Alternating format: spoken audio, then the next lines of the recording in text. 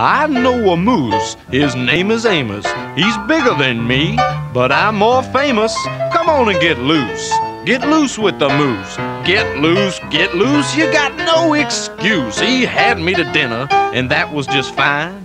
Served potato fritters with muscatelli wine. Come on and get loose now, get loose with the moose.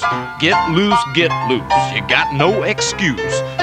Hey, how you like my shiny jacket? My agent gave it to me and said, Artie, if you're gonna be a star, you might as well start shining like one. So here I am, shining and acting goofus with you.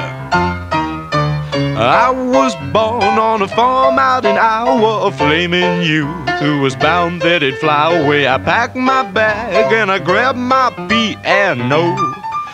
I played it all.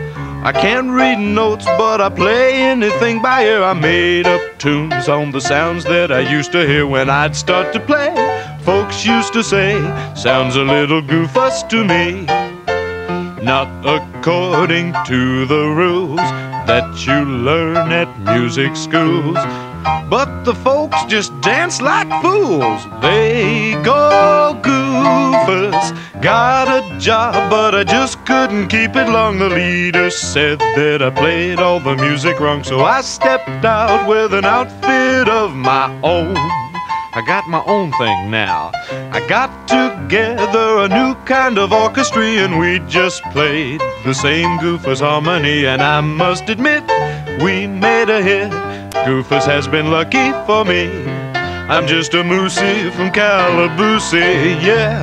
And Goofus has been good to Goofy or me. Goop and boo, baby, whip and well, yes, it has. Let's all yell, Goofus!